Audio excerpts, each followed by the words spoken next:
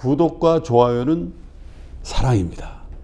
자 그러면 우리 또 맑은 분 증권계의 맑은 분 모시겠습니다. 아, 교보증권의 김영렬 센터장님 어서 오십시오. 어서 오세요. 안녕하세요. 네. 네.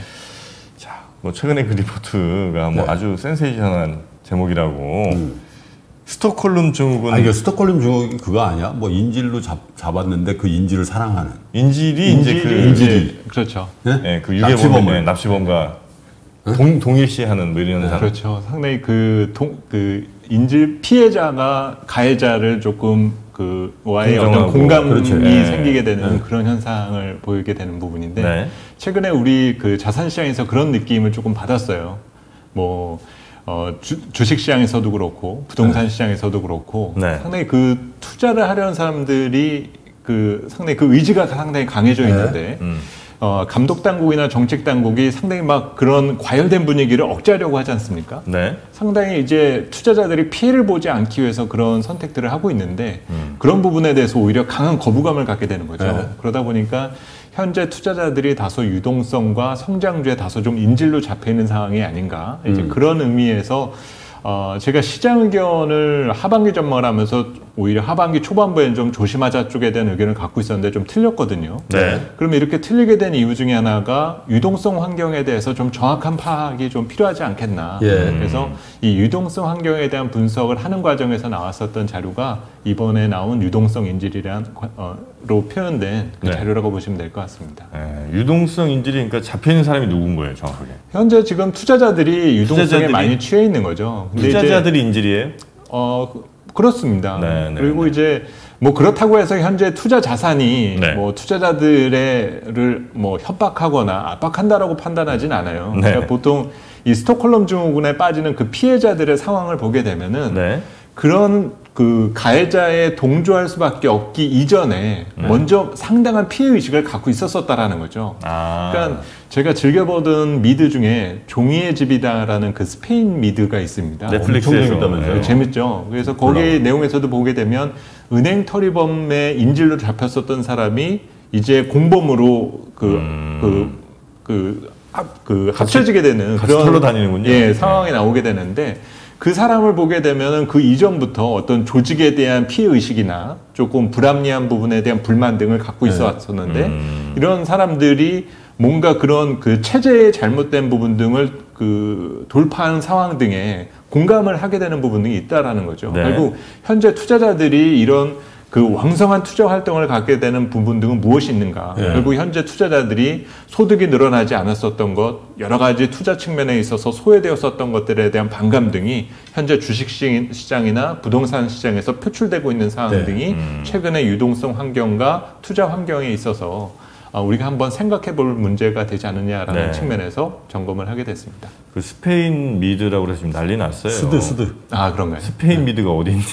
아, 죄송합니다. 네, 네. 스드라고 해야 되는군요. 미드가 네, 맞습니다. 되냐. 네. 에드나 스드지. 네, 네, Español. 네. 맞아요. 그렇죠. 네. 아, 그래서 지금 현재, 아, 이 투자자들이 그 유동성 공급자가, 어, 뭐 굳이 이제 비유하자면 납치범이 되는 건가요?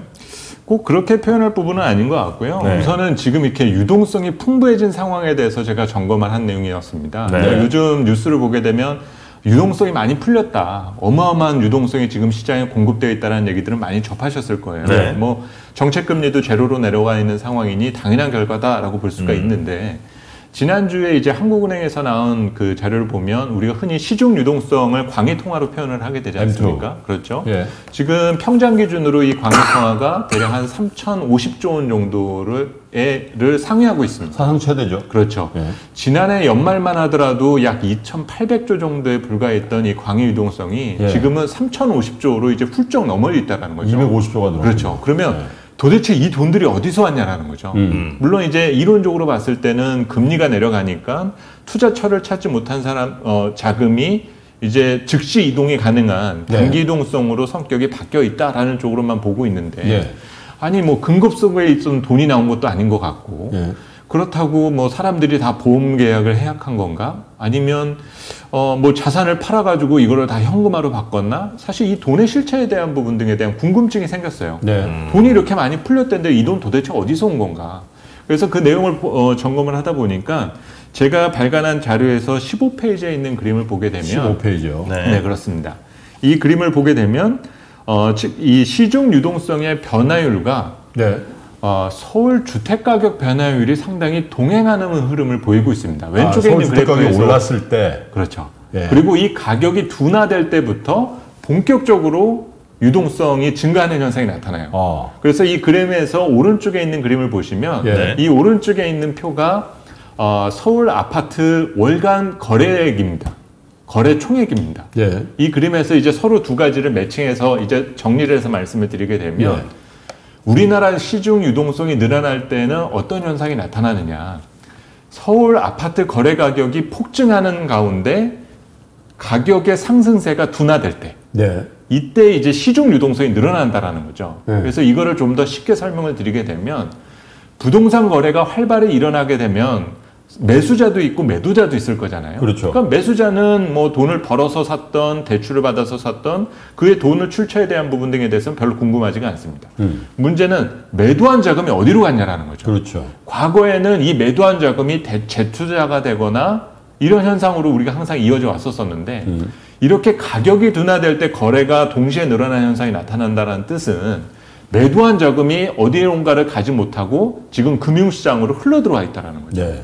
그래서 이 현상이 일어나게 되면 시장에 돈이 팽창을 하게 되고 네. 자산 시장이 들썩이는 현상이 나타나게 된다는 거죠. 음. 그래서 최근 유동성 장세에 대한 실체는 바로 여기에서 첫 번째 포인트를 읽어내실 필요가 있다라고 그러니까 보고 집한 돈으로 집 샀으면은 유동성이 이렇게 늘질 않는데 그렇죠. 그렇죠. 집 한 돈으로 다른 거를 사업을 하거나 주식 투자를 하거나 그러면서 시중 자금의 유동성이 그렇게 늘어난 거다 이렇게 보는 거죠. 그렇습니다. 그리고 이렇게 늘어나는 유동성은 언젠가는 어디로 흘러갈 거잖아요. 영원히 유동성이 늘어나진 않을 거지 않습니까? 예. 그렇죠.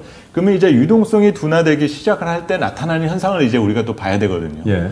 유동성의 증가가 둔- 둔화되는 시점에 실물 경제에 문제가 없다라면 예. 이 돈들은 기업이나 가게로 흘러가겠죠. 예. 기업은 이제 경기 경기 여건이 좋아져서 돈을 벌다 보면 설비 투자를 하거나 사람을 뽑아서 고용을 늘리겠죠. 네. 이런 쪽으로 이제 실물 유- 어, 시중 유동성이 실물 경제로 투입되는 현상이 나타나게 되는 거고, 그래서 일자리가 늘어나게 되면 이제 가게는 소득이 늘어나니까 자연스럽게 소비로 이어지는 이게 이제 유동성이 둔화될 아, 유동성 증가가 둔화될 때 나타나야 되는 현상입니다. 네. 근데 지금 보시게 되면 그런 현상이 잘 보이지는 않죠. 예. 우선 가계의 소비가 늘어나는 것 같아 보이지는 않고 그렇습니다. 자연스럽게도 정책 측면에 있어서 뭔가 성장을 찾아보자라고 뚫어주니까 예. 기업들의 투자는 지금 이루어지고 있거든요. 예. 그러다 보니까 이것과 매칭되는 쪽에 대한 자산 시장의 가격이 먼저 들썩인다라는 거죠. 음. 그게 지금 주식 시장의 성장주 중심으로 투자자들의 관심이 올인하게 되는 그러한 그러한 어떤 실체다라고 볼 수가 있습니다. 음. 유동성. 근데, 근데 이제 그 화두 중에 네. 그래서 그 유동성이 일부 제대로 투자되거나 투자의 결실을 우리가 예측할 수 있는 성장 기업에 집중돼 버리니까 그렇죠. 네. 야 비싼데 이거 그래서 도저히 손이 안 나가는데 근데 한국뿐만 아니라 테슬라도 그런 거고 맞습니다. 그죠? 네.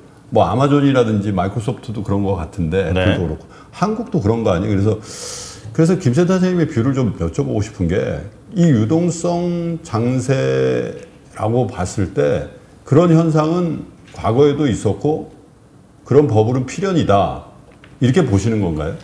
아, 우선 이 버블은 그 순기능과 역기능이 다 같이 있습니다. 예. 그리고 이제 우리가 주목해야 될 것은 investor 입장에서 봤었을 때는 순기능 쪽에 대해서 더 많은 비중을 바라보는 부분들이 맞겠죠. 예. 그리고 모두 다 같이 좋아지면 당연히 행복할 사회일 수 있겠지만은 예. 누군가는 언젠가 피해를 볼 수밖에는 없게 될 거고 예. 그 피해를 줄이기 위해서 이처럼 3프로 TV를 많이 보시게 되는 거지 않습니까? 예. 실수를 줄여보기 위해서. 네. 네. 마찬가지로 이런 성장 기업들에 대한 상황은 우리 다음 세대의 먹거리를 찾기 위한 하나의 과정 이고 예. 그 과정 속에서의 투자이기 때문에 잘못됐다라고 우리가 선을 그어야 될 필요는 분명히 없다라는 거죠. 음.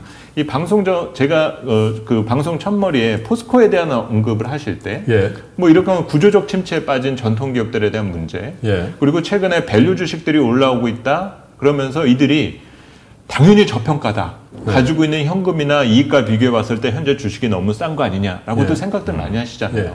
근데 다른 한 다른 측면에서 생각을 해서 보면 이 포스코처럼 구조적으로 침체에 빠져서 야금야금 실적이 이제 계속 감소한다라고 해버리게 되면 지금 저 PER이라는 종목이 고PER가 되기 위해서 주가가 올라가야 되는데 실적이 망가져갖고 고PER가 될 수도 있다라는 거예요. 그렇죠. 예. 그래서 이런 부분 등의 우려 때문에 그 기존의 value 주식 등을 안 보고 있는 겁니다. 반대로 지금 주가를 설명하기 어려운 저퍼, 어, 고퍼 기업들은 미래에 돈을 벌 수 있는 돈이 어마무시하게 많다라는 점을 가정했을 때는 지금 꼭 비싸다라고 볼 수만은 없다라는 거죠. 대신 시장의 진입과 이 기업들의 투자의 시점 측면에 있어서 누가 그 타이밍을 잘 맞춰가고 있느냐 정도에 대한 차이가 있다 뿐이지 최근에 성장주에서 나타나는 이런 어떤 그 주가 상승 측면에 대한 변화를 우리가 극단적으로 부정할 필요는 분명히 없다는 근데 이제 그 성장주의 모멘텀을 코로나19라는 글로벌 팬데믹이 더 가속화시켜 버렸잖아요. 그렇죠. 그래서 사실 3월 그 위기 국면을 헤쳐나온 다음에 에, 주가가 이제 본격적으로 회복하는 국면에서 한두 차례의 에, 전통 가치주들의 역전 시도가 있었어요. 네네네. 6월 달에도 기억하시겠지만 그렇습니다. 뭐 네. 언택이 가고 이제 컨택이 온다라는 네네네. 그런 일이 있었고 최근에도 약간 이제 그런 움직임이 있지 않습니까? 뭐 현대자동차 이런 것좀 오르고 그러면서 근데 그럴 때마다 무위에 그쳐버렸거든요. 이른바 쿠데타를 한번 하려고 했는데. 그냥 아니라니까. 왜냐면 엊그저 어젠가요? 아마존 뭐 한 8% 올라버리고 막 이러면서 나스닥. 폭등해버리니까 아, 또 아닌가 보다 이렇게 돼버리는데 과연 그럼 우리 개별 투자자들은 개인 투자자들은 아, 이 성장주 일변도로 하려니 너무 너무 겁나고 네네. 그러, 그런데 자산 가치 내지는 수익 가치 대비해서 너무 저평가되어 있는 거 하려니까 한겨울이야. 그렇죠. 아시잖아요. 어떤 네네네, 기업들인데. 맞습니다. 예를 들면 캐시가 3천억인데 시총이 2천억이에요. 네네네. 이런 회사 있거든요. 내가 관심을 올려놓고 있는데 꿈쩍을 안 해. 거래가 하루에 5천 주밖에 안 돼. 예를 들면. 아예 안 본다는 거잖아요. 네.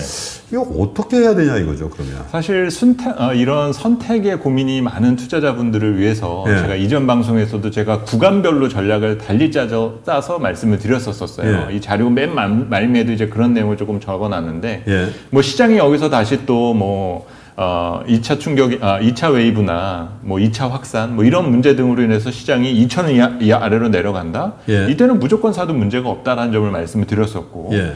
대신 지금 2천선 언저리에서 시장이 조금 어, 혼란스럽다. 이게 네. 오르려는지 내리려는지 좀 혼란스럽다 할, 때, 할 때는 active growth 쪽에다가 우리가 어, 비중을 두는 것이 맞다. 가장. 센 것. 그렇죠. 네. 모멘텀이 강한 것들. 네. 이런 것들에 대한 부분에 말씀을 드렸었고 음. 2200이 넘어가면은 이때는 정말 돈이 넘쳐날 때입니다. 음. 어제도 국내 유동성으로도 여기까지 왔는데 외국인 기관 사 주니까 더 쉽게 올라가지 그렇죠. 않습니까?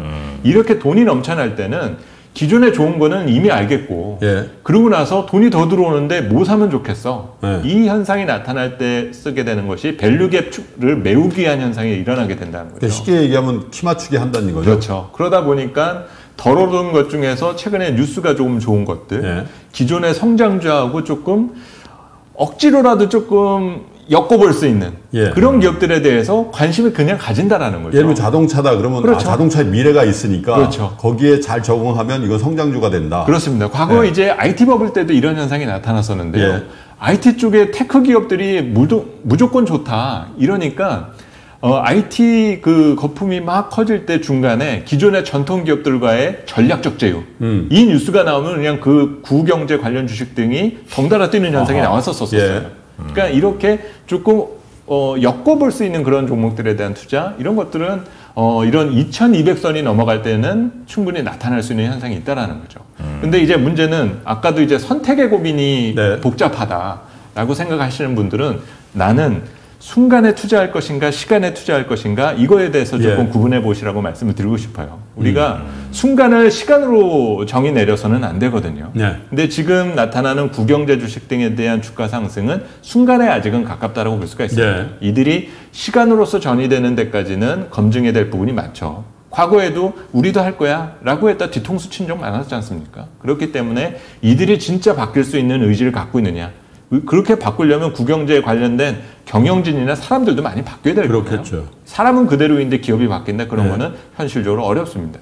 대신 성장주에 대해서 계속 관심을 갖게 되는 주요한 이유는 이거는 시간의 투자라는 거죠. 음. 당장 이게 주가가 조금 과열 양상이고 지금 투자하는 것이 조금 늦은 감이 있을지 모르겠지만 예. 여기서 가격 조정을 받게 된다 하더라도 앞으로 2년, 3년, 5년 정도의 투자의 기회가 남아 있다라면은 성장률 쪽은 여전히 시간 측면에 있어서는 어, 투자 매력이 크다 이런 정의를 우리가 해볼 수 있다. 지수 2200이 뭐 그 굉장히 중요한 레벨이기도 합니다. 저항과 그렇죠. 지지가 같이 있는 거니까. 근데 에, 그 지수 레벨에 따른 성장주냐 가치주냐 이, 이 믹스를 어떻게 할 건지에 대한 아이디어는 좀 들은 것 같은데 음.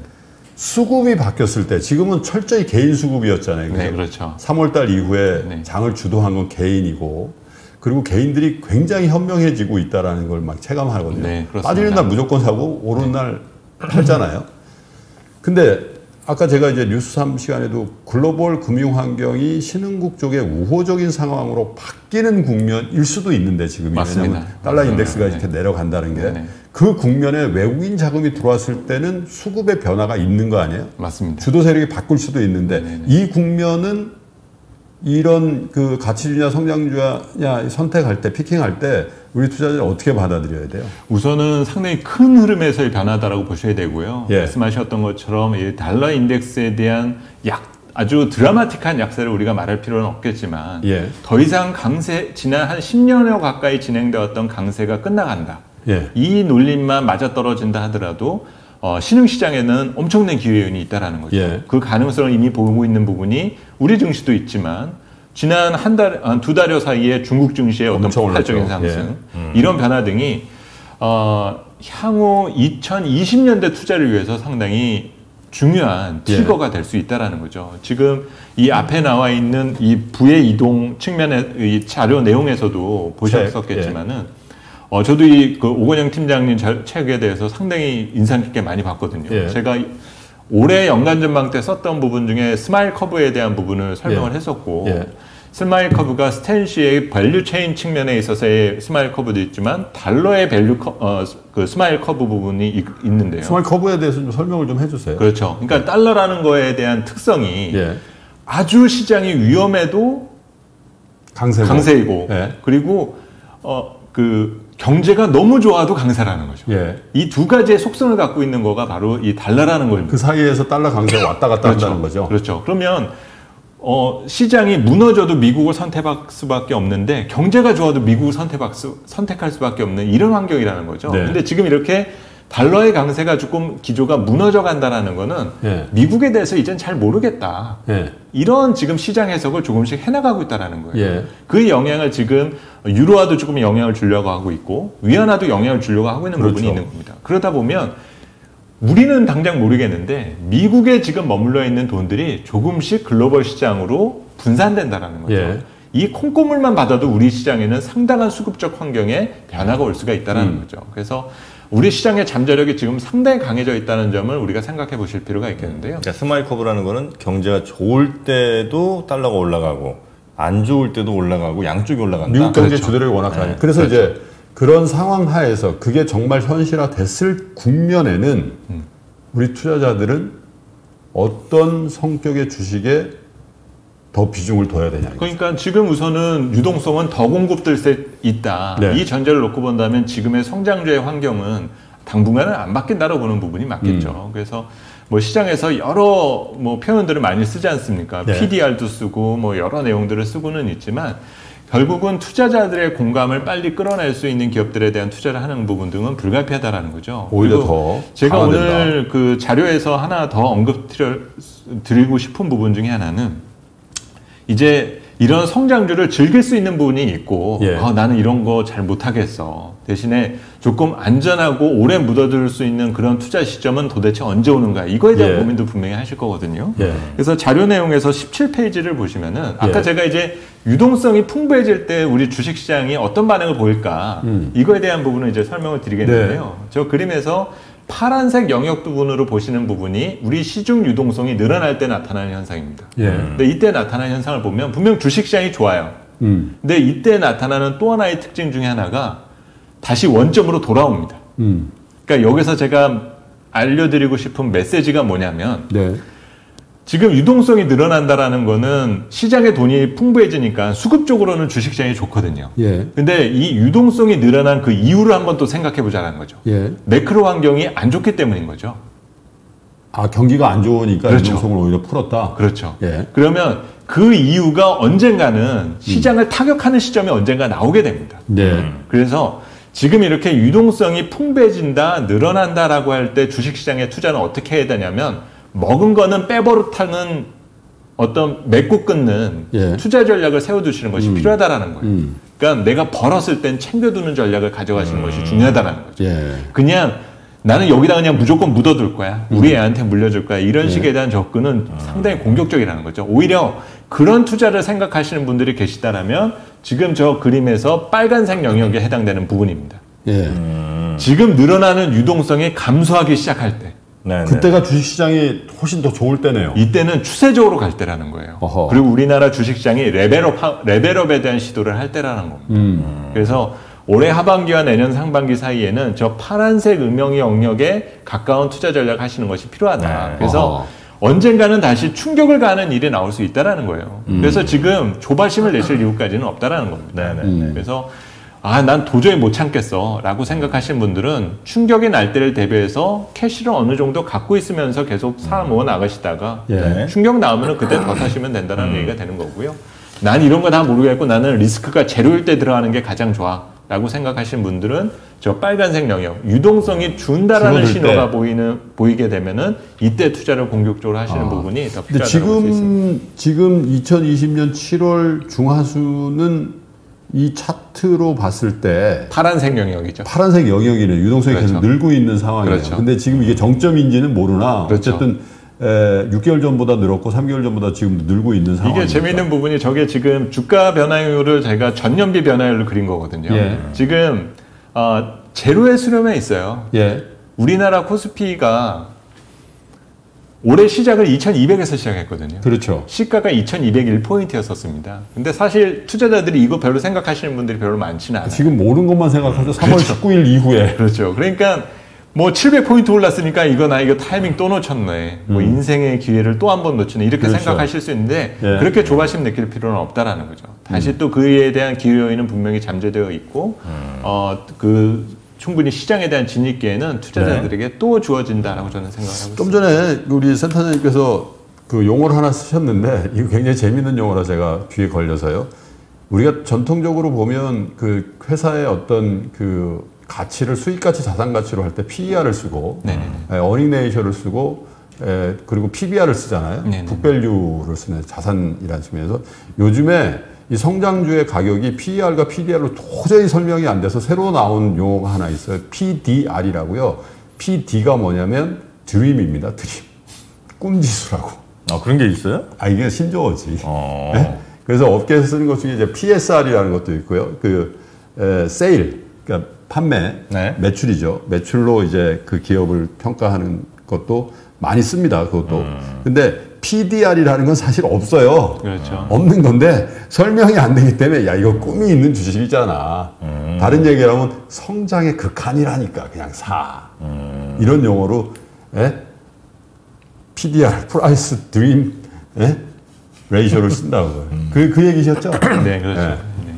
그러면 이제 어, 조금씩 조금씩 저 분위기 보면서 이렇게 팔아서 현금을 좀 확보해라.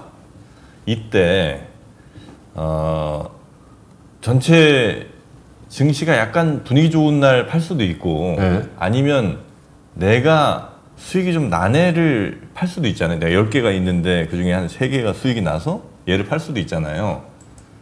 어떤 게 더 좋은 전략인가? 왜냐면 어떻게 생각하면 세 개, 열개 중에 세 개가 수익 났는데 사실 얘는 더 가면 얘가 더갈 애들인 그렇죠. 수도 있으니까 네네네. 그렇게 팔지 말고 예를 들면 뭐 좀 주식이 전체적으로 오른 날 뭐 다 같이 조금씩 파는 그게 전략이 더 좋을 수도 있잖아요. 네, 우선 아까 말씀드렸던 부분을 다시 언급을 드리면 네. 시간을 보고 사신 주식들에 대해서는 쉽게 파실 이유는 없다는 네. 거죠. 대신 이제 순간을 보고 사신 주식들, 최근에 뭐 가변적인 변수에 반응하는 주식들이 있지 않습니까? 네. 뭐 외국인 수급에 반응해서 오르는 구경제 주식이라든지, 예. 음. 뭐 이런 경우에 대해서는 먹었을 때 팔아도 그러니까 range 나중에 별로 trading하고 거예요. 그런 거는 그렇죠. 예. 이거는 수급이 무너지면 다시 또 주가가 무너질 확률이 상당히 크다라는 거죠. 그렇죠. 근데 시간을 보고 사신 주식들 지금 대표적으로 지금 성장주들과 같은 경우에는 별 문제가 없을 수, 어, 별큰 문제가 되지 않는다는 겁니다. 음. 이미 대기 수요자들이 많이 있는 주식들 같은 경우는 충격도 덜 하기 때문에 네. 시간을 보고, 어, 보, 그 보고 투자하신 것의 대상들은 음. 최대한 그 믿음을 갖고 한번 보시고 믿음을 조금 빗나가게끔 만드는 배신을 하지 않는다라면 믿어주자라는 거죠. 음. 근데- 시간을 보고 사질 않아요.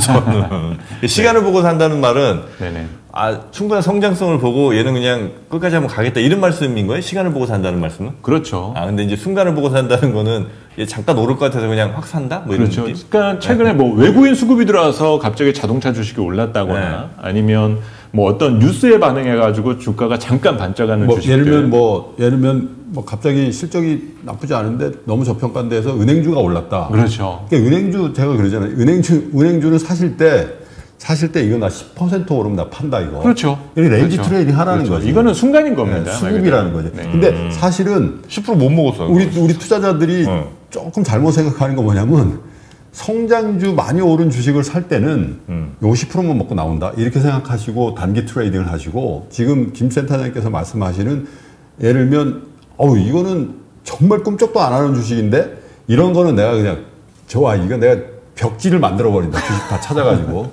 어 마무리 벽, 벽, 벽지 칠해버린다 막 이런 이런 걸로 사요. 근데 그거 거꾸로 해야 된다는 얘기예요 지금. 네, 맞습니다. 대세인 성장주의 그거는 조금 비싸 보여도 이건 시대의 주식이라고 생각하고 좀 전체 자산의 일부는 그냥 길게 갖고 가고 네. 네. 굉장히 소외받던 주식들이 가격이 싸다는 종, 싸다는 이유나 수급상의 개선으로 오를 때는 range trading 하라는 지금 근데 거꾸로 그런- 많이 하죠. 그런 선택에서 좀 설명드릴 수 있는 부분이 제 자료에서 21페이지에 제가 그 그림을 그려놨는데요. 네. 아까 제가 유동성 변화를 제가 설명을 드렸잖아요. 지금 유동성이 늘어나는 때다. 예. 그러면 지금 이제 보여드리는 그림이 유동성이 늘어날 때 지금 이 짙은 색으로 보여드린 그림이 성장주하고 가치주에 대한 상대 성과예요. 예. 그래서 우상향하게 되면 성장주가 좋을 때이고 예. 우하향을 하게 되면 가치주가 좋을 때라는 겁니다. 예. 근데 지금 이 그림을 보시게 되면 유동성이 늘어나고 있을 때 전형적으로 지금 성장주가 압도적으로 지금 방향을 틀어놨죠. 예. 그리고 이 추세가 잠깐 바뀔지 모르겠지만 당분간 안 바뀔 것 같다라는 거죠. 음. 그러면 내가, 내가 여기서 투자를 한다라고 할 때 성장주는 배트를 길게 잡고 해야 되는 부분이 맞는 거고 예. 가치주는 아 내가 잠깐 저 뭐 가치주와 관련된 뉴스에 혹하는 느낌이 들기는 하지만 음. 이거는 아직은 잠깐이다라는 거죠. 음. 갑자기 이제 현대차가 뭐 전기차에 대해서 몇 백만 대를 내놓을 거야. 이거 뭔가 크게 바뀌는 것 같은데, 근데 아직까지는 잠깐 믿어보자라는 거죠. 어. 어, 그리고 그래요? 내, 내 원래 주변에 가치주가 오래 가는 거 아니에요? 실제로 그 가치주들에 대한 신뢰가 지금 약화돼 있다라는 거죠. 왜냐하면 기업의 색깔을 성장으로 바꾸는 거가 어마무시하기 힘듭니다. 그리고 특히 그 가치주들이 왜 지금 가치주일 수밖에 없느냐는 내부적으로 안을 뜯어보게 되면 어. 여러 가지 문제를 갖고 있다는 거죠. 우리 아, 기업들? 그리고 제조업체들에 대한 전형적인 특성 때문입니다. 예를 들면 오늘 오늘 이제 시황 시간에 아, 시황 네네. 뉴스 3 시간에 두 개 업체 얘기했잖아요. 근데 이게 뭐 진리는 아니죠. 근데 예를 들면 포스코를 싸다라고 최근 몇 년 동안 장기 투자를 한 분과 네. 삼성바이오로직스를 야 이거 비싼데 단타를 친 분이 있어요. 음. 뭐 가- 같은 거죠. 근데 반, 반대로 한 분이 있겠죠. 아, 코스코 너무 싸기 때문에 이건 한 15%는 빈집털이 되겠는데 음. 이렇게 한 분과 플러스 그러면서 산발을 예를 들면 아 이거는 시대 주식일 수 있고 뭐 성장성이 있으니까 뭐 부분적으로는 좀 길게 가지. 엄청난 수익률의 차이가 있잖아요. 그렇죠. 그게 지금 유동성 국면에서 유동성이 확대되는 국면에서는 그 전략이 유효하다라는 거죠. 아니, 그 배운 거랑 좀 달라지니까 제가 지금 드린 말씀입니다. 아니 근데 그게 원래 맞는데. 아니, 예전에 투자는 변하는 거라고 하지 않습니다. 아니 예전에 뭐라고 지금 방금 나오신 분들이 주로 가치 투자하시는 네. 분들이 원래 이제 가시는 아주 좀 탄탄한 회사인데 네. 아주 가격이 쌀 때 들어가서 뭐 이게 1년 될 수도 있고 2년 될 수도 있지만 결국은 내 가치를 따라오기 때문에 얘는 이제 쭉 장기로 간다 이런 얘기를 주, 주로 들었지 아, 언제 또 지금 가치주를 산 거야? 말씀하신 그 부분이 언젠가 맞을 거예요. 문제는 그 언젠가라는 거에 대한 궁금증을 푸는데 시간이 얼, 얼마나 더 진행될지 우리가 알기가 쉽지 않다라는 네, 거죠. 네, 네, 이게 뭐 내년에 시작된다라면 상관이 없는데 음. 앞으로 한 5년 후에 시작된다라고 그러면 그때까지 손 빨고 있어야 되는 거지 않습니까? 손은 빨기 싫어요. 네. 그렇기 너무 때문에 많이 받았어요. 아 근데 이제 김 센터장님 말씀하시는 거는 어. 지금 장세 성격이 유동성이 확대되는 이른바 유동성 장세라는 전제 하에서 그건 맞는 전제잖아요 지금 음. 네네네네. 그 유동성 장세의 특징적인 주가 흐름은 어떻게 되는가 음. 이걸 말씀하시는 그러니까 일반적인 주식 투자의 일반론 네네네네. 그러니까 아, 쌀 때 사서 비쌀 때 파는 거야 이건 일반적인 거고 네네네. 지금 특정한 왜 투자 전략을 전공하시는 있으니까. 분이니까 음. 그거를 이제 한정을 해놓고서 봤을 때 장세의 성격이 큰 변화가 있을 때까지 어떻게 하는 게 좋은 건가 음. 그런 얘기죠. 산 다음에 이게 가치주였나 이렇게 헷갈리는 건 안 되는 태도겠죠. 아, 자기만 가치주라고 생각하는 경우가 많아요. 이게 가치주 아니었나 이렇게 사고 나서 안 오르면 왜냐하면 지금은 유동성이 풍부하다라고 그러면 네. 이런 때는 그 흐름에 맞춰줘야 돼요. 그러니까 아. 각자 좋아하는 취미가 있을 수도 있고 아니면 같이 어울려야 되는 분위기가 있을 수도 있잖아요. 네네네. 근데 막 춤을 추고 같이 어울려야 어울리는데. 되는 파티에 가서 나 혼자 클래식 듣고 있어야 될 이유는 없는 거거든요. 남들은 테크노 하고 있는데 나는 클래식 그렇죠. 그러니까 그런 부분 등을 하시는 거는 퇴장 어떤 나가지. 철저한 투자 성향에 대한 차이라고 볼수 있는 부분이기 때문에 네네네. 아니, 저는 그러니까- 이제 오늘은 그런 철저한 유동성 부분 측만 조금 강조해서 아니 친구하고 클럽까지 하고 그러는데 턱시도 입고 온 거야. 어?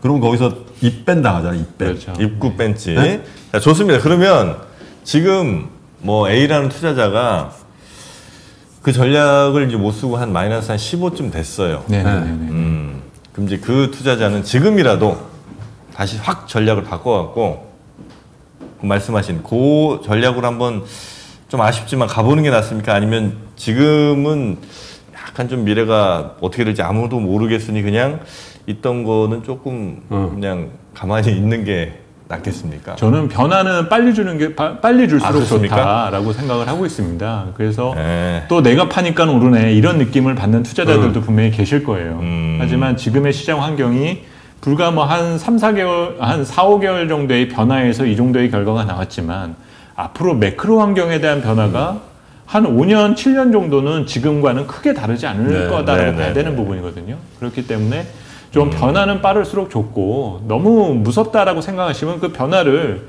대신 문제는 본인이 실행하는 것부터가 중요하다라는 거죠. 제가 어느 세미나 자리에서도 그런 언급을 드렸던 적이 있는데 어떤 사람이 어디 가서 기도를 했다라고 그래요. 네. 제발 로또 좀 당첨되게 하게 달라고. 네. 근데 이제 신이 하도 답답해서 그 얘기를 했답니다. 도대체 로또를 산 다음에 기도를 하라고. 사지도 않고 계속 기도만 하고 있다라는 거는 잘못된 부분인 거거든요. 아. 네네네네. 그러니까 마찬가지로 변화를 본인이 스스로 시도하면서 시장에 적응해 나가는 것이 좀 더 중요하고 네. 그런 네. 부분에 있어서 지금 이런 여러 조- 좋은 자료와 네. 삼프로 TV 같은 좋은 프로들 경험을 하시게 되면 그 감각은 어느 정도 강화되실 수 있다고 진짜 손이 안 나갈 때 내가 노하를 알려드릴까? 뭐예요? 절대 주, 저 주식을 증오하게 된다고. 왜냐면 계속 올라 나는 없는데. 그럼 자기만 다쳐요. 자기 네, 마음만 네, 네. 상해. 네. 그럴 때 쓰는 방법이 있어요. 음. 조금 사보는 거야. 음. 조금. 예? 예를 들면 전체 자산이 100이다 그러면 네. 한2 정도 사는 거예요. 그럼 마음이 싹 바뀐다. 오늘 마음이 싹 바뀌어. 네. 어, 유연해져. 과연 어, 제 물량을 다 받을 만한 어, 매수 세력들이 있을지 모르겠습니다만 오늘 기관들 긴장하시고 다 내 물건 받아요 오늘. 가치도 오르겠구나 또 이제. 아, 알겠습니다. 아 오늘 아주 어, 제가 새로워지는 시간, refresh 된 시간이었습니다. 우리 너무 재밌었어요. 아, 네네. 네, 아유 우리, 우리 김형렬 센터장님 제가 참 좋아합니다. 자 오늘 어, 저의 뒤통수를 세게 때려주신 교보증권의 김영렬 센터장님 대단히 고맙습니다. 네, 감사합니다. 네.